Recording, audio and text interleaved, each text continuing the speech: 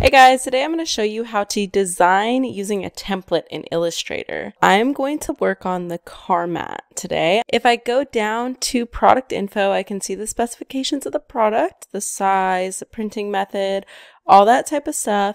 But the thing that I'm worried about today is design file info. This is going to be a lifesaver in exporting your designs exactly how it calls for. So when we get to that point, we're going to export it as a JPEG or PNG at 75% quality, and the dimensions will be these at 150 pixels per inch. So the first thing I'm going to do is click template, and that will automatically download my template. Okay, I see it down here.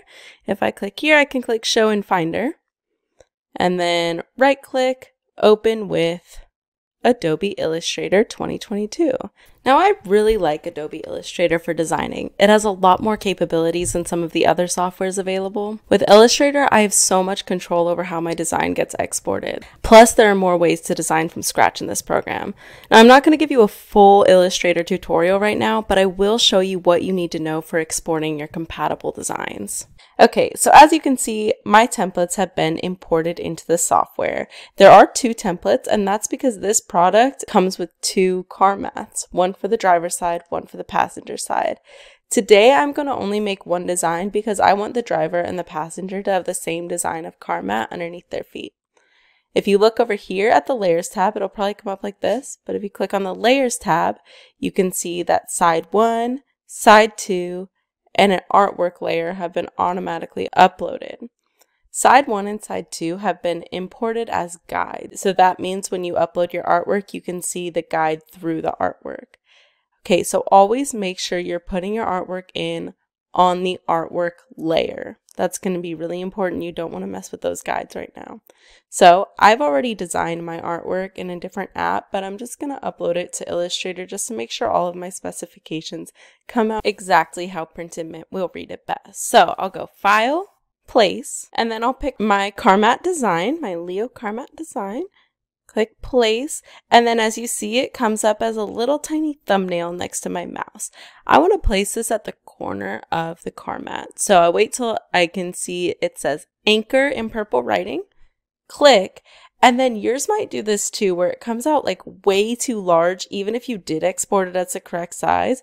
So what you're going to do is make sure you have this black cursor selected, the selection tool, or you can hit V, and then you hold down shift to make sure the proportions stay exactly how you want them. And then just go ahead and drag it until it snaps to the corner.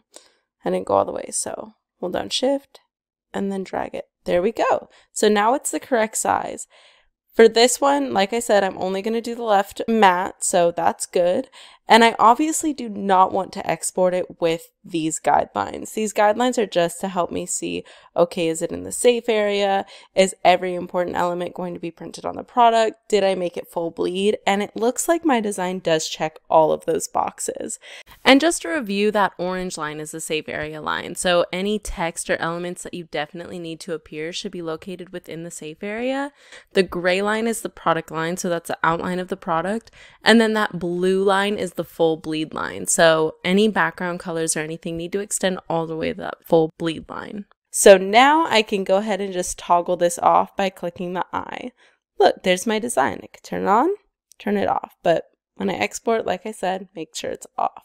Okay, now I'm going to go ahead and click my artboard selection tool. You can also use the hotkey Shift plus O to move to that tool.